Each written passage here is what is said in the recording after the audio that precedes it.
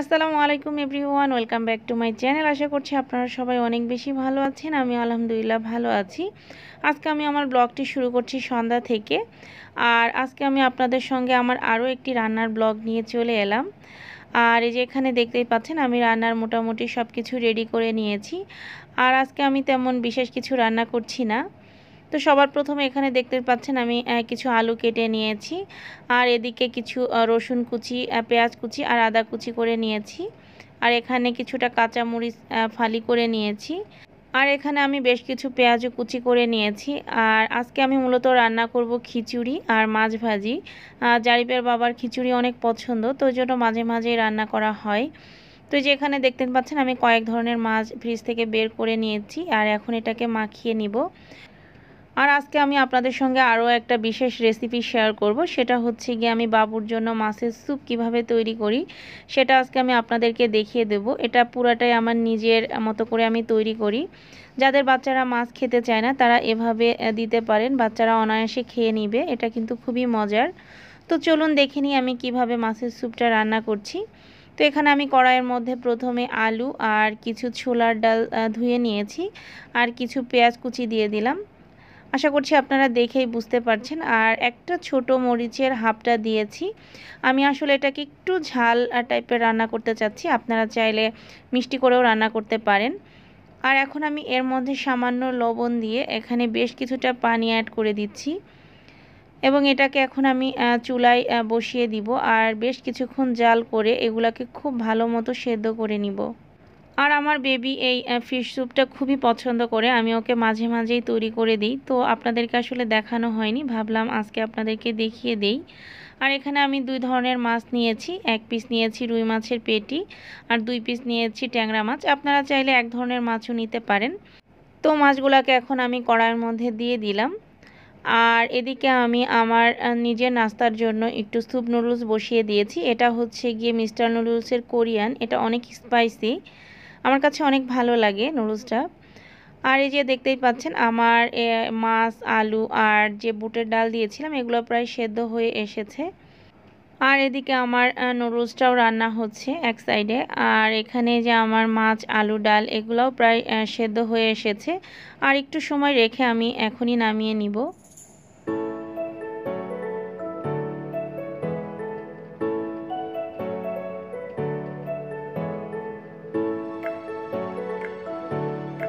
ওই যে দেখতেই পাচ্ছেন আমার এগুলা কিন্তু সেদ্ধ হয়ে গিয়েছে। আর এখন আমি একটু ঠান্ডা করে এক এক করে সব কিছু আমি কড়াই থেকে আলাদা করে নিচ্ছি। মূলত আমি মাছ, আলু, ডাল এগুলো আলাদা করে নিব আর পানিটা আলাদা করে নিব। তো এই যে দেখতেই পাচ্ছেন আমি কিন্তু এই যে যে পানিটা সেদ্ধ করার পরে বেঁচেছে ওগুলো আলাদা করেছি। আর এদিকে আমি আলু, মাছ আর ডালটাও আলাদা করেছি। আর এখানে আমি এক চা চামচের মতো কর্নফ্লাওয়ার গুলিয়ে নিয়েছি। আর এটা আমার রান্নার সময় কাজে লাগবে। আর এখানে আমি আলু আর ডালটা ব্লেন্ড করে নিয়েছি।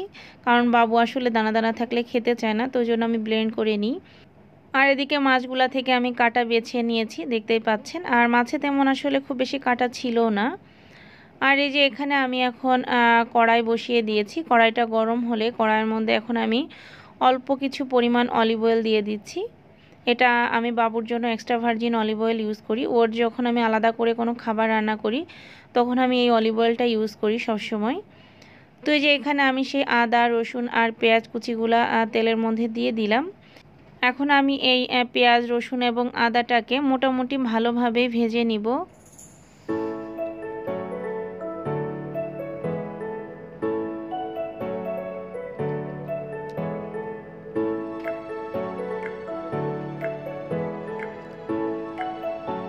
এখন আমার এই পেঁয়াজ, রসুন এবং আদাটাকে মোটামুটি ভালোভাবে ভাজা হয়ে গিয়েছে। এর মধ্যে এখন আমি এই সেই আলু এবং ডাল যে ব্লেন্ড করে রেখেছিলাম, সবার ফার্স্টে ওটাই দিয়ে দিলাম। দিয়ে এক মিনিটের মতো নাড়াচাড়া করে এর মধ্যে এখন যে পানিটা আলাদা করে রেখেছিলাম আমি মাছ, আলু এগুলো সেদ্ধর পরে যে পানিটা ছিল, তো ওই পানিটাও আমি অ্যাড করে দিলাম। আশা করছি আপনারা দেখে খুব ভালোভাবে বুঝতে পারছেন। তো এখন এটাকে আমি কিছুক্ষণ নাড়াচাড়া করে এর মধ্যে এখন আমি যে মাছগুলা বেছে রেখেছিলাম, মাছগুলা দিয়ে দিচ্ছি। তো তারপরে এটাকে এখন আমি দুই মিনিটের মতো রান্না করে নিব।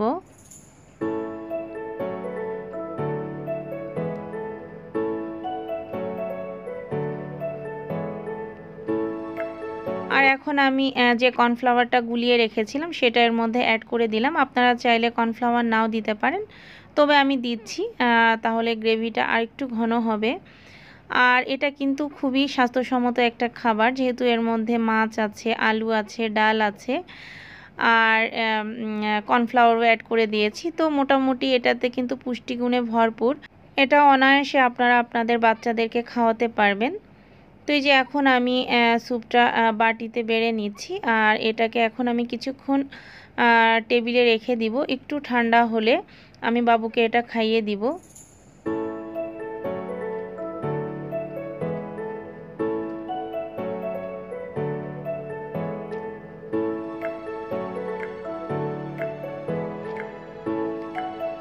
তো এই যে মা এবং ছেলের দুজনেরই নাস্তা রেডি আমার জন্য স্যুপ নুডলস তৈরি করেছি আর বাবুর জন্য ফিশ স্যুপ সেটা তো আপনারা পুরো রেসিপিটাই দেখতে পেলেন। আশা করছি আপনারা একটু হলেও উপকৃত হবেন আমার এই রেসিপিটা দেখে।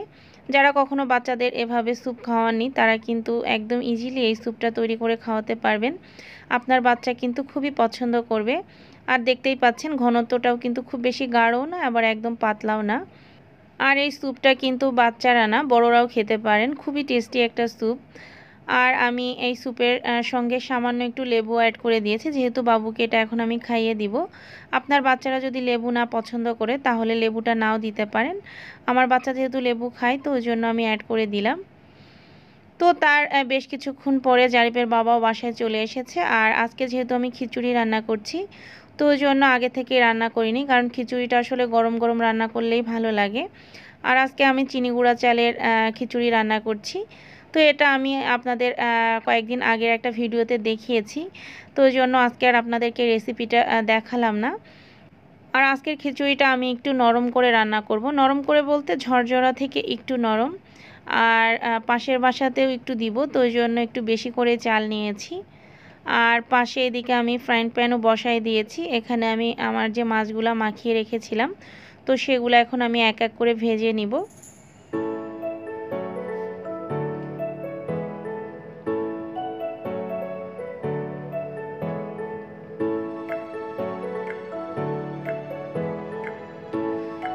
এখন আমার তেলটা গরম হয়ে গিয়েছে, আর আমি এখন এক এক করে মাছগুলাও দিয়ে দিচ্ছি।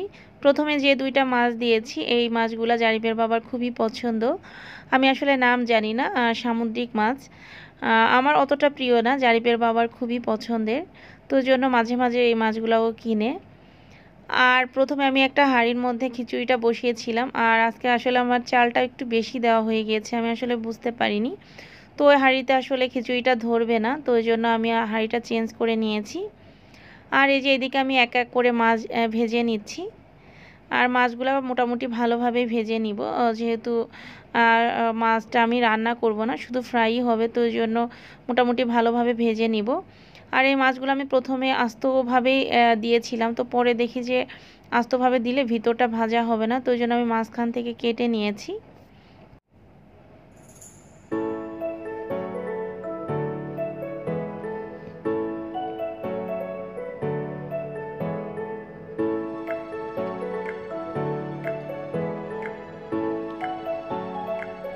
এদিকে আমার খিচুড়ি রান্নাটা প্রায় শেষের দিকে, হালকা একটু একটু পানি আছে।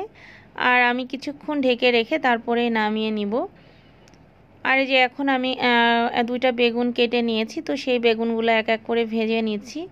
আর খিচুড়ির সাথে আমার এবং জারিপের বাবার, আমাদের দুজনেরই বেগুন ভাজি এবং মাছ ভাজি দুইটাই খুবই পছন্দের। তো ওই জন্য আমরা খিচুড়ি রান্না করলেই এই দুইটা আইটেম আমাদের করা লাগে। মানে মাংসর থেকেও আমাদের মাছটা বেশি পছন্দ, তবে মাংসও ভালো লাগে, মাঝে মাঝে মাংস দিয়েও খিচুড়ি খাওয়া হয়। তো ওদিকে বেগুন ভাজা হয়ে গেলে এখানে আমি কিছু পেঁয়াজ ভেজে নিচ্ছি। তো পেঁয়াজটা মোটামুটি ভাজা হয়ে গেলে এর মধ্যে এখন আমি মাছ এবং বেগুন দুইটা একসাথেই দিয়ে দিয়েছি। তার কারণ হচ্ছে গিয়ে একটু রাতও হয়ে যাচ্ছিল যেহেতু জারিবের বাবার খিদাও লেগে গিয়েছে, তো জন্য ঝটপট করে রান্নাটা করে নিয়েছি। তো এখন আমার রান্না বান্না অলমোস্ট শেষ হয়ে গিয়েছে। এখন আমি চুলাটাও খুব ভালোভাবে ক্লিন করে নিচ্ছি, কারণ মাছ ভাজি করলে চুলাতে অনেক বেশি তেল ছিটে পড়ে। তো জন্য আমি সাথে সাথে চুলা এবং চারপাশ সব কিছুই খুব ভালোভাবে ক্লিন করে নিচ্ছি। তো যে দেখতেই পাচ্ছেন, আমার চুলাটা কিন্তু খুব ভালোভাবে ক্লিন করা হয়ে গিয়েছে।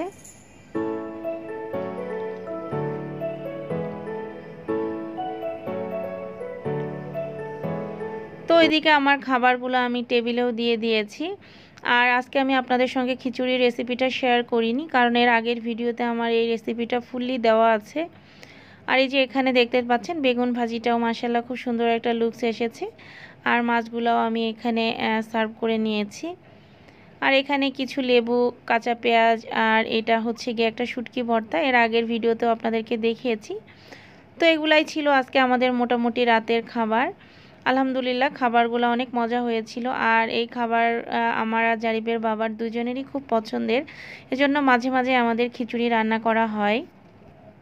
আর এখন আমি পাশের বাসায় দেওয়ার জন্য খিচুড়ি বেড়েও নিয়েছি। এই যে এখানে আমি বেগুন ভাজি দিয়েছি মাছ দিয়েছি, লেবু দিয়েছি আর খিচুড়ি দিয়েছি। আর আসলে শুটকি ভর্তাটা দিইনি কারণ আসলে ওনারা শুটকি ভর্তাটা পছন্দ করে বা খাবে কি না এই জন্য আমি দেইনি। অনেকে আসলে শুটকি জিনিসটা খেতে চায় না। তো এই যে আমরা রুমেও চলে এসেছি খাবার নিয়ে, বাইরে প্রচণ্ড গরম ছিল। আর এই যে মার্শাল্লাহ আমার বাবাটা খিচুড়ি খাচ্ছে, দেখতেই পাচ্ছেন। যদিও সে প্লেটে যতটুকু খিচুড়ি দেখছেন, এটা পুরোটা শেষ করেনি। ও খেতে চাচ্ছিল না, কারণ সন্ধ্যায় যেহেতু স্যুপ খেয়েছে, ওর অতটা ক্ষুধাও ছিল না। আর আমরা যখন খেতে বসি, তখন বাবুকে এভাবে খেতে দেই। অনেকে আছে, বাচ্চা খাবার নষ্ট করবে বলে খেতে দেন না, এটা ঠিক না। আমরা সব সময় বাবুকে খেতে দিই, যাতে ও নিজে নিজে খাওয়া শেখে। তো আজকের ভিডিওটা এই পর্যন্তই, আর বেশি বড় করছি না। আপনারা সবাই ভালো থাকবেন, সুস্থ থাকবেন, আমাদের জন্য দোয়া করবেন। আর আমার ভিডিওটি যদি ভালো লেগে থাকে, অবশ্যই আমার চ্যানেলটি সাবস্ক্রাইব করবেন। সবাইকে অনেক অনেক ধন্যবাদ। আল্লাহ হাফেজ।